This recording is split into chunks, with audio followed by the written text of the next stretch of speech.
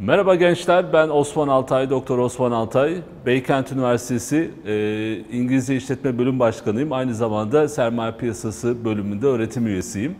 E, sermaye Piyasası bölümünde finans ağırlıklı dersler veriyoruz. Eğer finansla ilginiz varsa ve finansla ilgili bir kariyer düşünüyorsanız sermaye piyasası bölümünü e, gönül rahatlığıyla tercih edebilirsiniz. Bununla beraber sadece sermaye piyasası bölümü değil, işletme bölümü, iktisat lojistik bölümü gibi pek çok bölümü barındırıyor. İktisadi İdari Bilimler Fakültesi e, Beykent Üniversitesi içerisinde. Tabii ben e, İktisadi İdari Bilimler Fakültesi öğretim üyesi olarak daha çok bu bölümler hakkında bilgi veriyorum size ama sizlerin başka ilgi alanları varsa o ilgi alanlarına yönelik de bölüm tercihi yapabilirsiniz.